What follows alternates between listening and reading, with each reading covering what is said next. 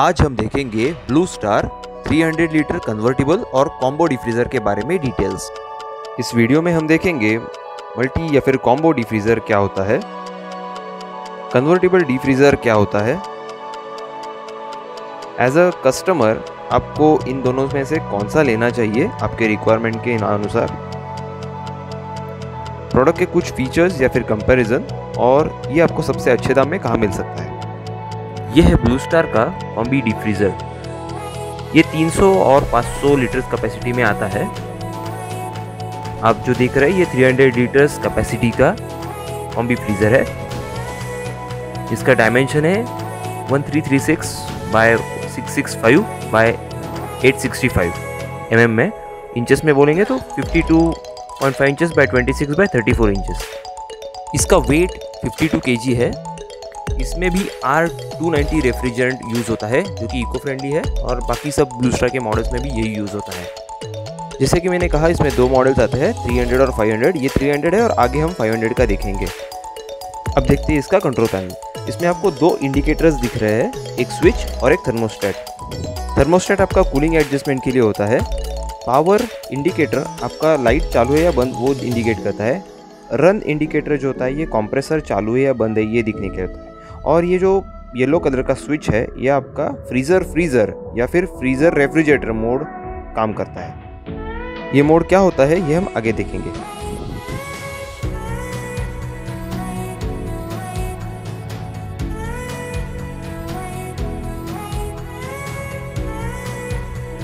ये मशीन भी white colour में आता है, इसके ऊपर एक प्लास्टिक फ़िल्म रहता है जो कि आपको बाद में निकाल सकते हैं।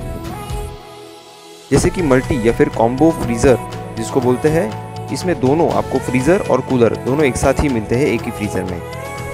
ये जो सेक्शन है, ये फ्रीज़र सेक्शन है। इसका कैपेसिटी अराउंड 185 लीटर्स या फिर इंटरनल कैपेसिटी 175 लीटर्स बोल सकते हैं। ये वाला कूलर सेक्शन या फिर चिलर सेक्शन है, जिसका कैपेसिटी 150 या फिर 137 लीटर्स भी है। इसका मटेरियल जो है स्टको एल्यूमिनियम होता है और इसके बीच में पार्टीशन होता है।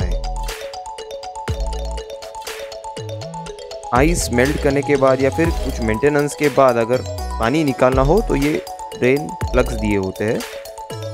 क्लीनिंग के बाद आपको ये निकाल के इसके नीचे ट्रे रख के आपको उसमें पानी निकालना है। बाकी डिफ्रीजरों की तरह ही इसको भी रोलर टाइप चार व्हील्स होते हैं। रेड मार्किंग के नीचे ही आपको दोनों सेक्शंस में सामान रखना है। इस मशीन के साथ आपको एक बास्केट, एक यूज़र मैनुअल दो कीज, एक स्क्रैपर और दो प्लग होल्स मिलते हैं। इसका मॉडल है C H F K three hundred D G S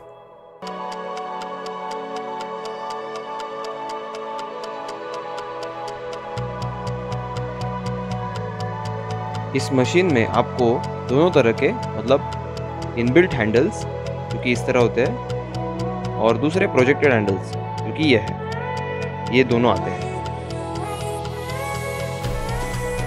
अब हम देखेंगे ब्लू स्टार का 300 हंड्रेड लीटर्स कन्वर्टेबल डिफ्रीजर ये आपको single door double door TP inside और स्टोको एल्यूमिनियम इनसाइड दोनों में मिल सकता है। इसका लेंथ है 1140 डेप्थ है 670 और हाइट है 835 इंचेस में 44.8 बाई 26.3 बाई 33 इंचेस कन्वर्टेबल का मतलब ये पूरा का पूरा मशीन आपका प्लस में या फिर माइनस में, दोनों में काम कर सकता है। इसके अंदर आपको कोई कंपार्टमेंट नहीं मिलता। इसके लिए आपको इधर इसमें फ्रोजन या फिर चिल्ड आइटम्स ही रखने हैं।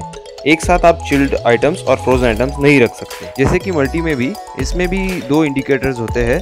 रेड इंडिकेटर पावर के लिए होता है और ग्रीन इंडिकेटर आपका जब जब कंप्रेसर बंद चालू होगा, वो ऑन ऑफ़ होता जाएगा। इसके अंदर आपको पीपी या फिर एम्बॉस्ड पीपी या फिर स्टको ये ऑप्शंस मिल सकते हैं। इसका मॉडल है C H F D D three hundred D G P W D S W इसके अंदर भी आपको मिलती है एक बास्केट एक यूज़र मैनुअल कीज स्क्रैपर और ड्रेन प्लग अब हम देखेंगे कंपैरिजन कन्वर्टेबल डिफ्रीजर का वन प्लस थ्री यानी फोर ईयर्स और कॉम्बो डिफ्रीजर का वन प्लस टू यानी थ्री ईयर्स का वारंटी आता है। डोरस के बारे में ऑब्वियसली मल्टी डो डोर्स में आता है। और कन्वर्टिबल डी फ्रीज़र जो है, वो सिंगल डोर और डबल डोर ऑप्शन में आता है। लीटर कैपेसिटी के बारे में मल्टी डी फ्रीज़र का कैपेसिटी फ्रीज़र का है 175 और चिलर का 137 लीटर्स का ग्रॉस कैपेसिटी 150 और 185 रिस्पेक्टिवली और कन्वर्टेबल का 300 लीटर्स डायमेंशन के बारे में दोनों का हाइट और डेप्थ दोनों अप्रोक्स सेम है, लेकिन विड्थ जो है, वो एक 6 से 7 इंच बड़ा है मल्टी डी फ्रीज़र का। मल्टी का रेंज जो है टेम्परेचर का, वो प्लस का दो से आठ डिग्री होता है और माइनस का माइनस अठारह से माइनस बीस। कन्वर्टेबल फ्रीजर का रेंज प्लस दो से लेके माइनस बीस तक होता है।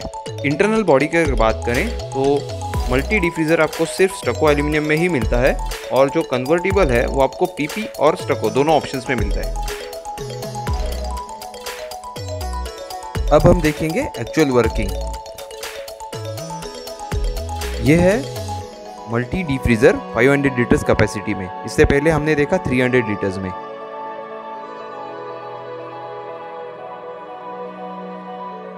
यह है उसका फ्रीजर सेक्शन जो कि पूरी तरफ़ से बर्फ़ हो चुका है। आप देख सकते हैं। और यह है कूलर सेक्शन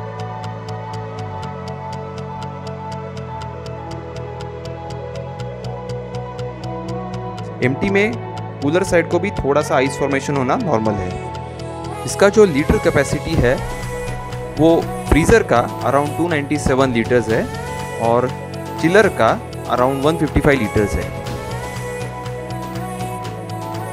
अब हम देखेंगे इसका एक्चुअल कंट्रोलर कि फ्रीज़र फ्रीज़र और रेफ्रिजरेटर फ्रीज़र मोड क्या होता है।